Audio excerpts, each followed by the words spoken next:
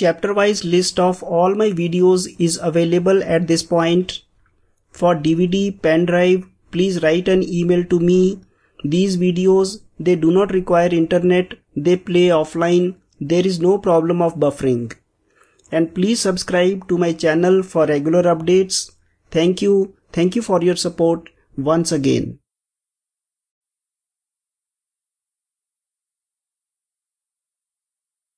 Prove that sum of two sides of a triangle is greater than the third side. Suppose this is a triangle. It is any triangle A, B, C. Let this side be A, this side be C, this side be B. We have to prove that B plus C is greater than A. Merely only looking at this figure and trying to prove this fact is really looking very difficult. But if we do some smart thinking and uh, and do this construction, things will look very simple. Let us produce AB we can produce AB to any length. It is a straight line can be produced. But produce AB to such a point so that AD becomes exactly equal to B. So we will produce AB to point D so that AD is cut equal to B. Next let us join D to C. Join D to C and we observe that the triangle ADC is an isosceles triangle. So if this angle is theta, then this angle will also be theta. So we can say since triangle ADC is isosceles, angles theta will be as marked. So this is one thing we have in front of us. Next we can see that if this entire angle is alpha then we can surely say that angle alpha is greater than angle theta by observation.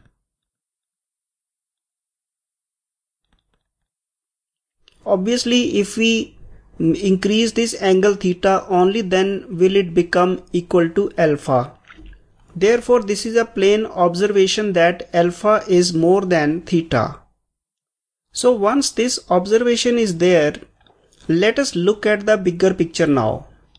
Look at the bigger picture.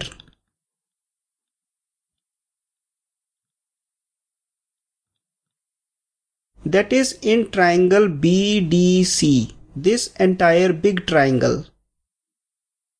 Since alpha is more than theta, now this is alpha and that is theta that we are talking now. Since alpha is more than theta, and we have already proved in our previous lecture that side opposite to a greater angle is longer than the side opposite to a smaller angle. So, this BD should be greater than BC because BD is opposite to angle alpha and BC is opposite to angle theta which implies what is BD? BD is same as B plus C which should be more than BC. BC is marked as A. So this is what we wanted to prove. which is exactly what has been proved. So this is how we can prove that the sum of two sides of a triangle is greater than the third side. As I have already told you that these questions of this type will definitely not come in your competitive exams. But the method of proof behind them, it helps us develop skills of reasoning. We become better at reasoning. That is the whole point why I am taking all this. Let us move to our next question, which is again an obvious fact. Let us move to our next question.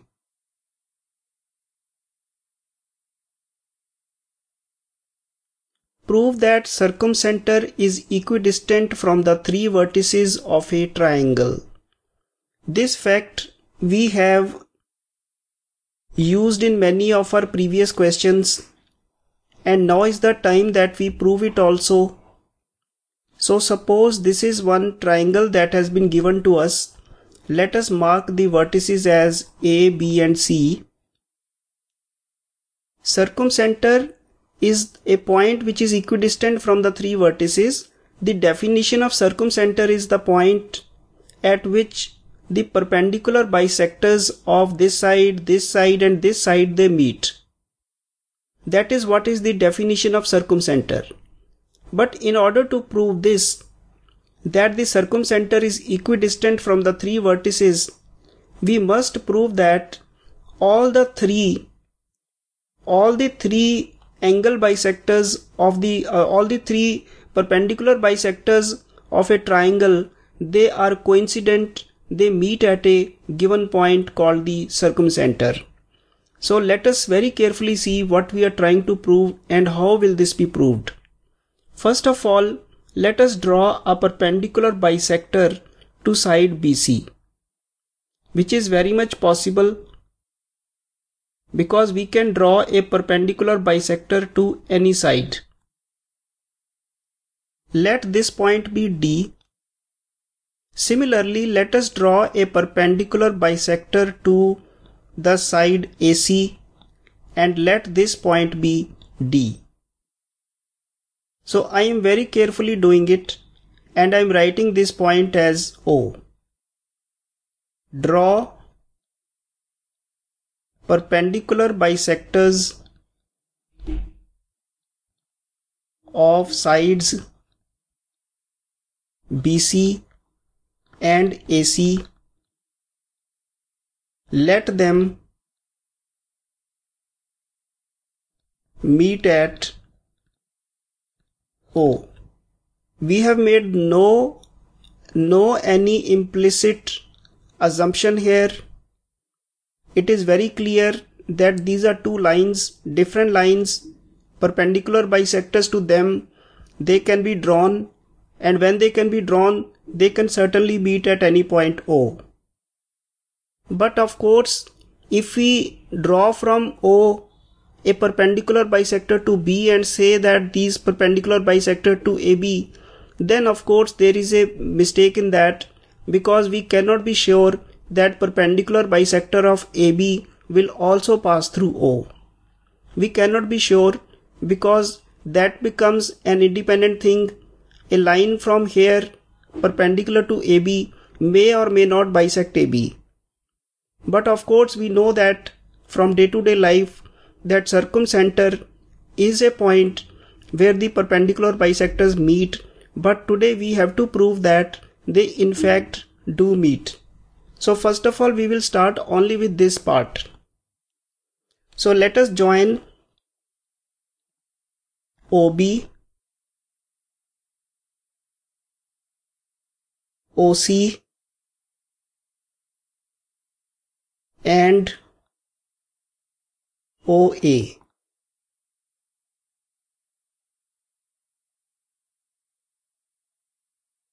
This is OB joint this is OC joint and this is OA joint.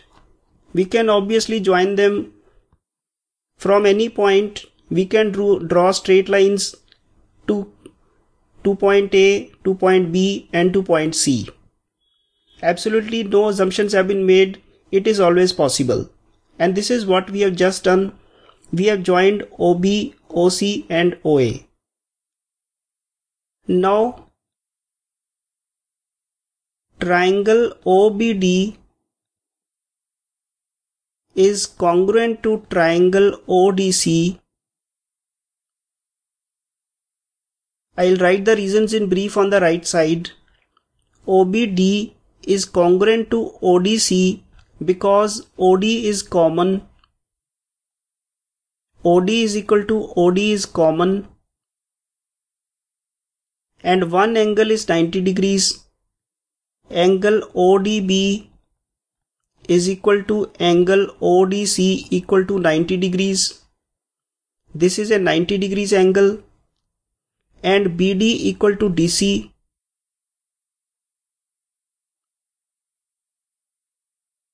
Because OD is perpendicular bisector of BC. This is known equal to this. This is known equal to this because OD is perpendicular bisector of BC and OE is the perpendicular bisector of AC and obviously this will be 90 this will be 90 this is equal to this and this is common so OBD is congruent to triangle ODC which implies OB is same as OC. This is one fact that we can write down now. On the same pattern, similarly, we can take triangle AOE and see that it is congruent to triangle OEC. Now I am talking about this triangle and this triangle again they are congruent because this side is equal to this side. This angle is 90 and this is common by side angle side and this one also side angle side.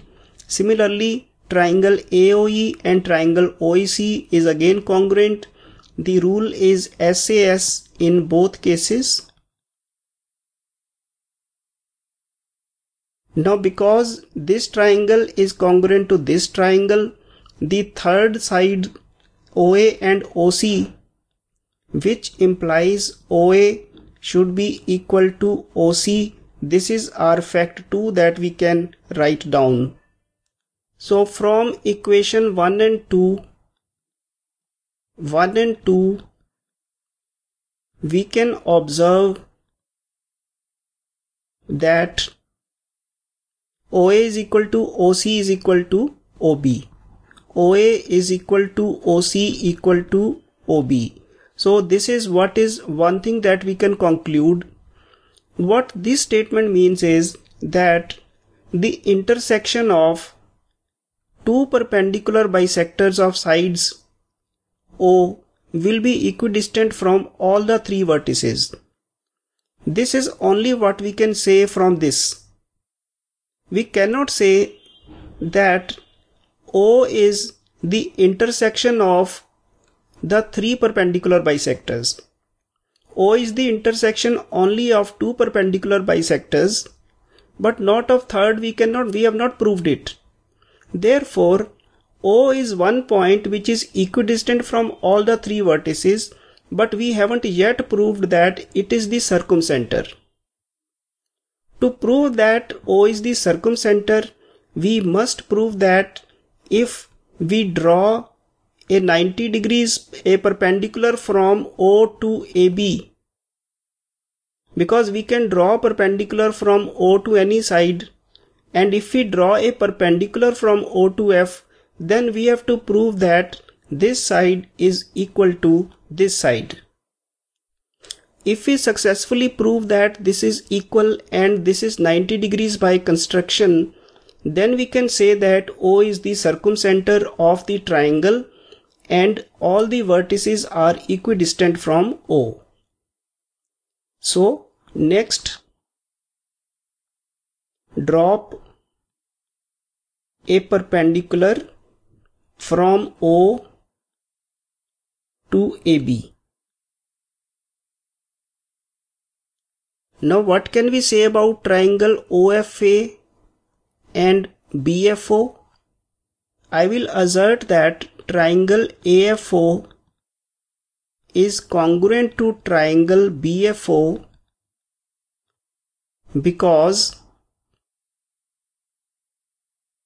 right angle is common 90 degree common uh, I mean 90 degree angle or it is better to say that both are right angles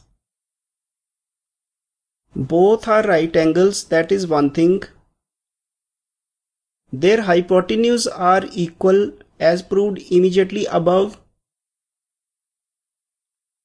Hypotenuse equal. And one side is common.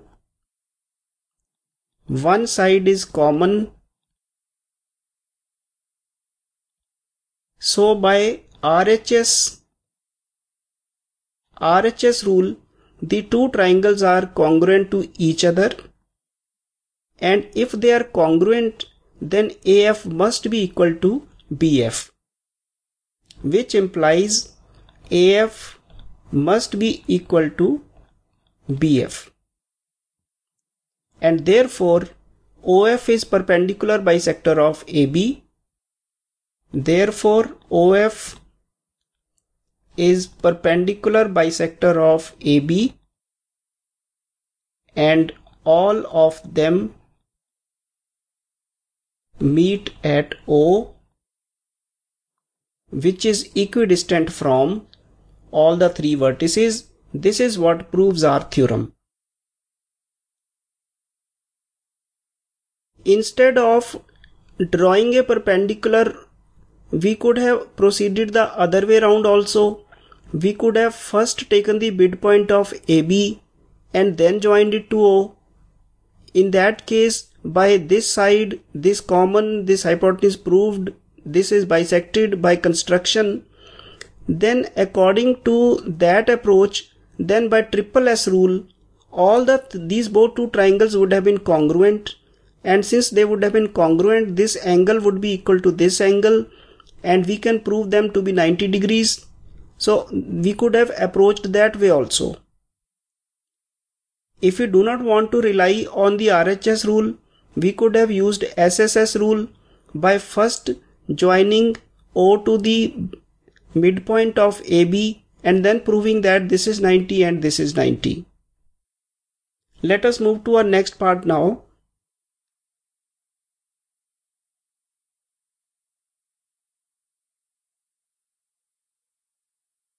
Two right angles are congruent if their hypotenuse as well as any one of the other two sides are equal. This is called the RHS rule of congruency. We have in fact just now used it also. And while I used it, I also told you that triple S could have been used there instead of RHS. But RHS can be proved standalone also. Let us now prove the existence and the truth of the RHS rule of congruency. What this rule says, let me first of all draw a diagram so that I can explain what this rule is exactly about.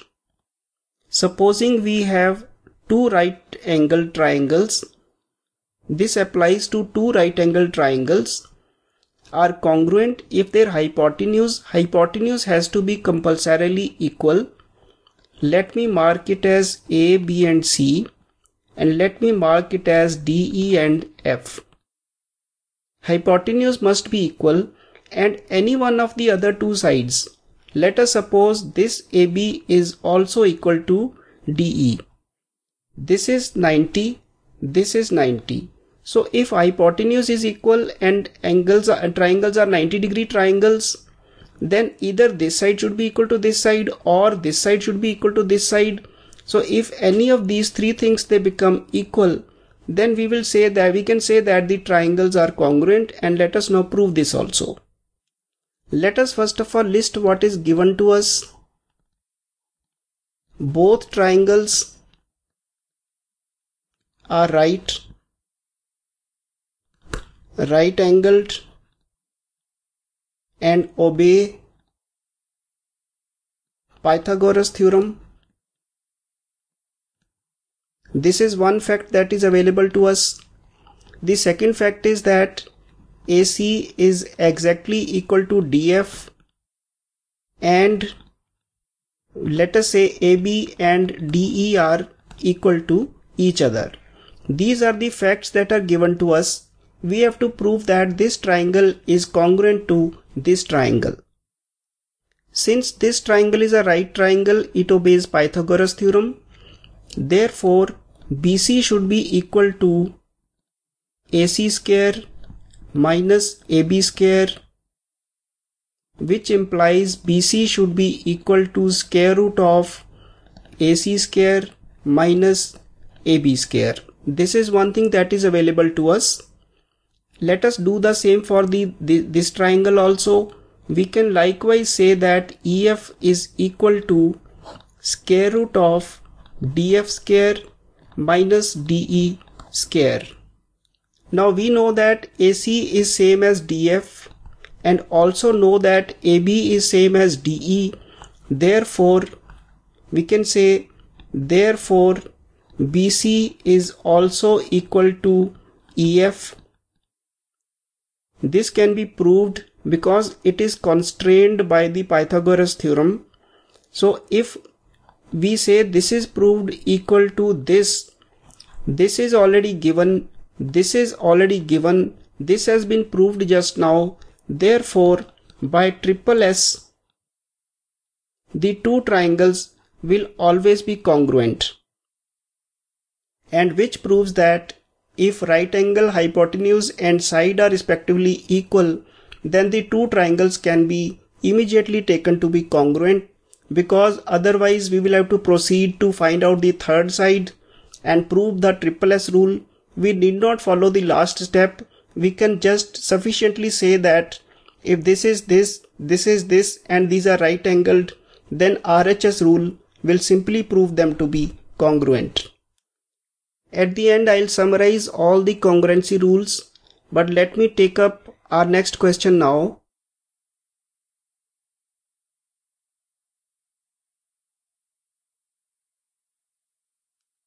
Prove that angle bisectors of the three angles of a triangle meet in a common point called incenter.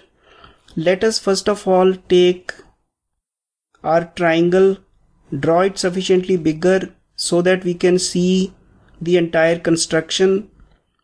Let ABC be a triangle and let us draw the angle bisector of angle B let us suppose it goes like this and angle bisector of C it goes like this.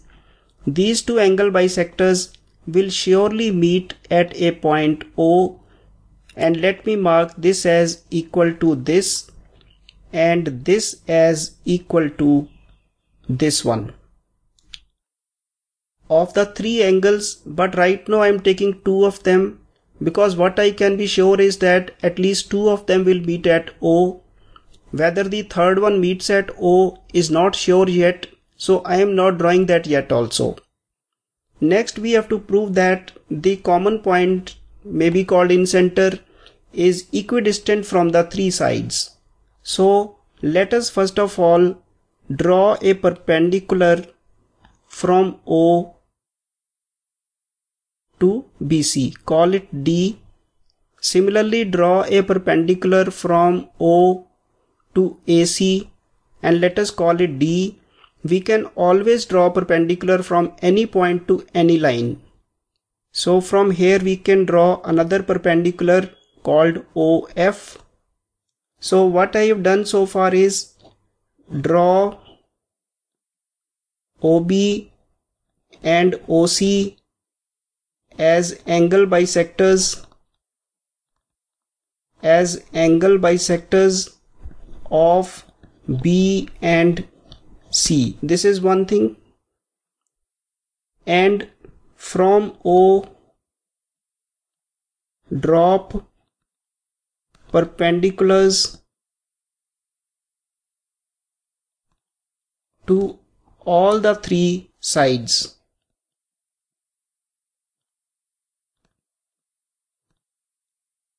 Now we can see that triangle BFO is congruent to triangle BDO. This triangle is congruent to this triangle by this is 90, this is 90. Hypotenuse is common. No, not by RHS rule, but we can simply see by angle rule also. See, this hypotenuse is common. This is 90, this is 90 and this is bisected. So we can write that it is by which rule? Angle, side, uh, not angle, side, angle, angle, angle, side. Any two angles and one side. By AAS rule, these are congruent to each other. We need not think about the right angle hypotenuse side because about side we have absolutely no knowledge whether this side is equal to this side or this side is equal to this side we have absolutely no knowledge only thing we know is that this angle is 90 this is 90 this angle is equal because this is bisected and this side is common so if these two triangles are congruent then we can now think in the reverse direction and say that side OD should be equal to OF the corresponding sides they have to be equal. This is one fact. Similarly, we can see that triangle OEC OEC is congruent to triangle ODC. Again by the AAS rule, this angle is 90 this angle is equal because OC is bisector and again OC is common. So by AAS rule, these two triangles are congruent, which again implies that OE has to be equal to OD. This is our second equation. From 1 and 2, we can collect that by 1 and 2 OE is equal to OD is equal to OF. This is what we can collect. D is, OD is common to both of these equations. So OE is equal to OD is equal to OF, which means that if O is the point of intersection of two angle bisectors, then that point is equidistant from all the three sides. The perpendicular distance of O from this side, from this side and this side is equal this is one thing that we have proved just now, but it doesn't prove that O is also O is also the intersection of the third angle bisector. To prove that, next join next join O to A. So let us do that joining also. Now, triangle OFA is congruent to triangle OEA because this is 90, this is 90, hypotenuse is common. And this side OF has already been proved to OE. So by right angle, hypotenuse and side rule, these two are congruent. And if these are congruent then obviously this angle must be equal to this angle which implies OA must be angle bisector of angle A. So which immediately proves that all the three angle bisectors they meet at point O and therefore they, this point O is called the incenter. Now they meet at O and therefore this O is a point such that it is at equal distance from all the three sides of the triangle. In one of our lectures we have discussed incenter in detail, circumcenter in detail we have assumed these facts at that time, but now we have proved them also in our geometry by using the congruency property of two triangles. Let us proceed to our summary now. I will summarize all the three congruency criterion that we have studied till now. We started with the SAS axiom. This is an assumed fact we started with just one SAS axiom side angle side property if these are respectively equal then the two triangles are congruent then we went on to prove that angle side angle or any two angles and one side if they are respectively equal then this was proved as a theorem that if they are equal then the two triangles will be congruent then we came to triple S theorem where we said if all the three sides are respectively equal then also the two triangles are congruent. And fourthly we also learnt that RHS rule is there for two right angle triangles. If the right angle, the hypotenuse and any other side is equal then the two right angle triangles will be congruent to each other. So these are the rules of congruency which I have summarized right now. So we'll close with this.